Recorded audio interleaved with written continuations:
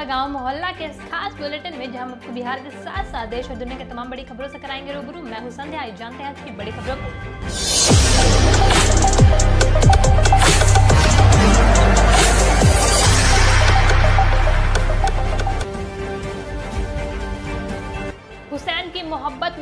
को किया लहूलुहान रस्म है, इस्लाम में दफनाने का, पर मोहम्मद के नवासे को कफन तक ना मिला। करबला की जंग में इमाम हुसैन व उनके बहत्तर साथियों की शहादत को बयान करते नौहा पर शिया समुदाय ने अपने जिस्म के हर हिस्से से खून बहाया। चहल्लुम के मौके पर शिया समुदाय ने इमाम हुसैन की शहादत के गम में मातम किया। प्रशासन द्वारा जुलूस पर प्रतिबंध व घरों व इमाम बाड़ों में ही मातम किया। कमरा मोहल्ला ब्रह्मापुर पैगम्बरपुर कोलहुआ हसन चक बंगरा, सिपाहापुर समेत विभिन्न जगहों पर सुबह से देर रात तक मजलिस मातम का सिलसिला चलता रहा। यहाँ हुसैन की सदा के साथ अपने जिस्म को ब्लेड, जंजीर, चाकू या तलवार से लहूलुहान किया। कमरा मोहल्ला स्थित नवाब तकी खां इमामबाड़ा में। मौलाना सैयद काजिम सबीब ने कहा कि करबला की जंग ने पूरी दुनिया को बुराई के खिलाफ लड़ने का पैगाम दिया। इमाम हुसैन ने हक की हिफाजत के लिए अपनी शहादत दी। चिराग ने पिता को कंधा दिया। रामविलास अमर रहे के नारे लगे। दीघा घाट पर अंतिम संस्कार किया गया। लोक जनशक्ति पार्टी के संस्थापक रहे रामविलास पासवान की अंतिम यात्रा उनके पटना वाले घर से निकल दीघा घाट पर राजकीय सम्मान से अंतिम संस्कार किया गया। पासवान की अंतिम यात्रा शुरू होने से पहले एसके पुरी स्थित उनके आवास पर माहौल काफ़ी भावुक हो गया। बेटे चिराग पासवान ने जैसे ही पिता को कंधा दिया, लोगों की आँखें नम हो गई। रामविलास पासवान अमर रहे के नारे लगे। पार्थिव शरीर को सेना के वाहन पर रखा गया। शुक्रवार शाम करीब आठ बजे पासवान का पार्थिव शरीर पटना पहुँचा था। एयरपोर्ट पर ही मुख्यमंत्री नीतीश कुमार ने रामविलास को श्रद्धांजलि दी। नीतीश की आँखों में नमी थी और चिराग पासवान से उनकी आँखों ही आँखों में बात हुई। रामविलास के बेटे और लोक जनशक्ति पार्टी के राष्ट्रीय अध्यक्ष चिराग पासवान ने पिछले दिनों नीतीश पर कई बड़े हमले बोले थे। बिहार में 15 से स्कूल, कॉलेज खुलेंगे, मंदिर में दर्शन भी होंगे, शादी विवाह का आयोजन भी होगा। बिहार सरकार ने 15 अक्टूबर से तमाम तरह की गतिविधियों की शर्त अनुमति दे दी है। पाँच दिन बाद राज्य में सामाजिक, शैक्षणिक, राजनीतिक, धार्मिक, खेल समेत अन्य गतिविधियाँ शुरू हो जाएगी।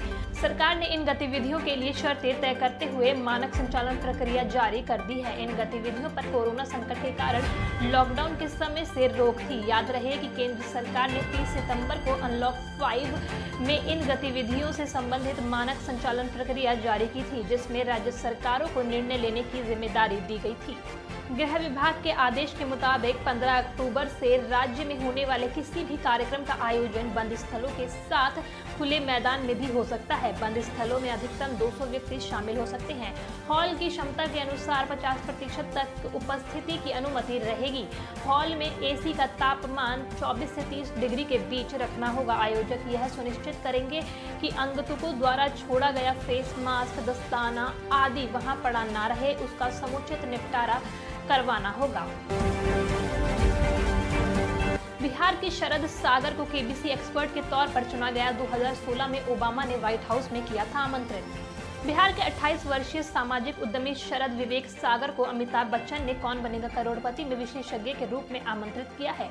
टीवी के इस लोकप्रिय शो में विशेषज्ञ के रूप में शामिल होने वाले वे पहले बिहारी हैं। 28 सितंबर को कौन बनेगा करोड़पति के बारहवें सीज़न की शुरुआत हुई? इस शो के 20 साल पूरे होने के उपलक्ष्य में उन्हें आमंत्रण भेजा गया है। 12 से 13 अक्टूबर को प्रसारित होने वाले एपिसोड में शरद एक्सपर्ट के रूप में दिखेंगे।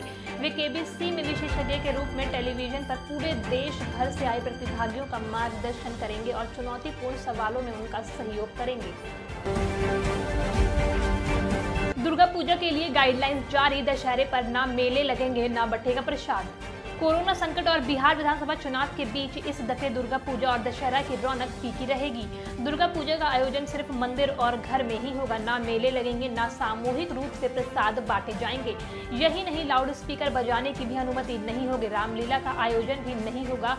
सार्वजनिक स्थानों पर रावण दहन की भी अनुमति नहीं दी गई है। कंटेनमेंट जोन से बाहर दुर्गा पूजा के आयोजन को लेकर बिहार सरकार के गृह विभाग ने दिशा निर्देश जारी कर दिए हैं। दुर्गा पूजा में बड़ी संख्या में लोग पूजा पांडाल मंदिर समेत अन्य स्थानों पर एकत्र होते हैं। इसे देखते हुए जारी दिशा निर्देश के तहत जिला प्रशासन की ज़िम्मेदारी होगी कि दुर्गा पूजा के दौरान आचार संहिता का उल्लंघन न हो। दुर्गा पूजा मंदिर में या घर पर की जाएगी। मंदिरों में आयोजन को लेकर पूजा पंडाल या मंडप का निर्माण किसी विशेष विषय पर नहीं किया जाएगा। इसके आसपास कोई तोरण द्वार नहीं बनेगा, जिस जगह मूर्ति रखी गई है, उस स्थान को छोड़कर शेष भाग खुला रहेगा। एलजेपी उम्मीदवार रानी कुमारी का नॉमिनेशन रद्द। नाराज़ पार्टी कार्यकर्ताओं ने किया जमकर हंगामा।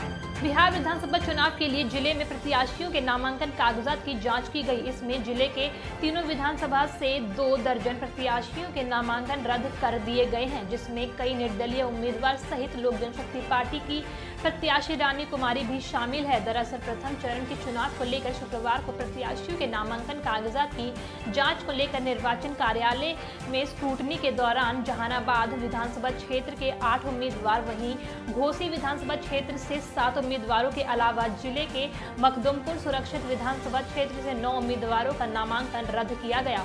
इस दौरान निर्वाचन कार्यालय के समक्ष काफ़ी गहमा गहमी भी देखने को मिली। नामांकन रद्द करने को लेकर मखदुमपुर सीट से एलजेपी प्रत्याशी रानी कुमारी ने जिला प्रशासन पर पक्षपात करने का आरोप लगाते हुए कहा कि साजिश के तहत उनका नामांकन रद्द किया गया है। उन्होंने कहा कि उनके वोटर लिस्ट में क्रमांक की माइनर मिस्टेक होने के कारण उनका नामांकन रद्द कर दिया गया है, जो कहीं से भी जायज़ नहीं है।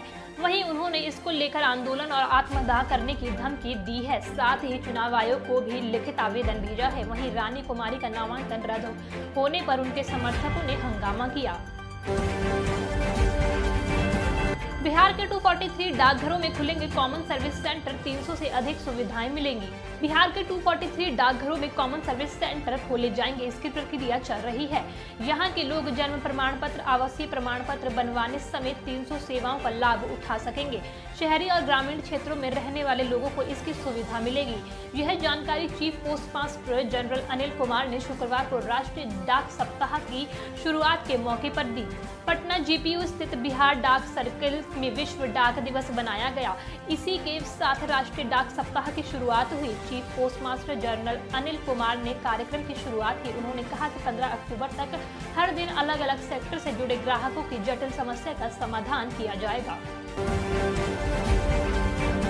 हाथरस कांड आरोपियों के वकील एपी सिंह ने लाइव शो में उजागर किया। पीड़िता का नाम हो सकती है कार्यवाही हाथरस की बेटी के लिए इंसाफ की लड़ाई जारी है। वहीं एबीपी न्यूज़ पर लाइव चर्चा के दौरान हाथरस की निर्भया केस के आरोपियों के वकील एपी सिंह ने पीड़िता का नाम ले लिया।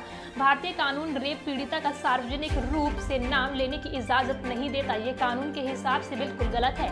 आईपीसी की धारा 228 ए के तहत पीड़िता का नाम सार्वजनिक रूप से उजागर करने पर अधिकतम दो साल की सजा देने का प्रावधान है। इसके साथ ही कोर्ट के पास जुर्माना लगाने का भी अधिकार है। एबीपी न्यूज़ ने एपी सिंह के इस बर्ताव की कड़ी निंदा की है। लाइव चर्चा के दौरान पैनल पर मौजूद निर्भया केस की वकील सीमा कुशवाहा ने कहा, पीड़िता का इस तरह से नाम लेने पर एपी सिंह के खिलाफ एफआईआर हो सकती है। दूसरी बात यह है, इस मामले को राजनीतिक एंगल देने की कोशिश कर रहे हैं। ये परिवार पर ही लड़की को मारने का आरोप कैसे लगा सकते हैं? सिटिंग सीट, महुआ छोड़, हसनपुर से चुनावी ताल ठोकेंगे तेज प्रताप, पत्नी ऐश्वर्या के हाथ खाली बिहार के चुनावी मौसम में सियासी गहमा गहमी के बीच प्रत्याशियों के नामों का लगातार ऐलान किया जा रहा है। इसी बीच बड़ी खबर सामने आई है। बिहार के पूर्व सीएम लालू यादव के बड़े बेटे तेज प्रताप यादव ने अपनी विधानसभा सीट बदल ली है। तेज प्रताप यादव ने बिहार की अपनी सेटिंग महुआ विधानसभा सीट की जगह हसनपुर का रुख किया है। तेज प्रताप यादव समस्तीपुर की हसनपुर सीट से महागठबंधन के विधानसभा चुनाव में प्रत्याशी होंगे, जबकि तेज प्रताप यादव की पत्नी ऐश्वर्या के भी चुनाव लड़ने की बातें कही गई थी लेकिन उनके हाथ खाली रह गए। बिहार चुनाव कन्हैया करेंगे महागठबंधन के लिए प्रचार। विपक्षी दलों के महागठबंधन में शामिल भारतीय कम्युनिस्ट पार्टी ने साफ़ किया है कि उनके अंदर कोई संघर्ष नहीं है। उन्होंने कहा है कि जेएनयू छात्र संघ के पूर्व अध्यक्ष व सीपीआई के राष्ट्रीय कार्यकारिणी के सदस्य कन्हैया कुमार भी चुनावी अभियान में शरीक होंगे। ऐसे में अब माना जा रहा है कि इस चुनाव में राष्ट्रीय जनता दल के नेता तेजस्वी यादव और कन्हैया कुमार मंच भी शेयर कर सकते हैं। बिहार में बागी नेताओं को बीजेपी की चेतावनी 12 अक्टूबर तक पार्टी में लौटे, वरना होगी कार्रवाई। बिहार विधानसभा चुनाव के पहले चरण के मतदान में अब कुछ ही दिन बाकी बचे हैं, लेकिन एनडीए में मची उथल पुथल थमती नज़र नहीं आ रही है। लोक जनशक्ति पार्टी के एनडीए से अलग होने के बाद पिछले चंद दिनों में ही भाजपा के पाँच नेता पार्टी छोड़कर जा चुके हैं। एक तरह जहाँ एलजेपी प्रमुख चिराग पासवान ने जेडीयू के सामने अपने प्रत्याशी उतारने का ऐलान किया है तो वही भाजपा ने भी खुले तौर पर कहा है की जिन्हें नीतीश कुमार का नेतृत्व स्वीकार नहीं, वो एनडीए का हिस्सा भी नहीं रह सकते। बिहार भाजपा के अध्यक्ष संजय जायसवाल ने बागी नेताओं को चेतावनी देते हुए कहा है कि अगर 12 अक्टूबर तक ये नेता पार्टी में वापस नहीं लौटे तो उनके ऊपर कार्रवाई की जाएगी।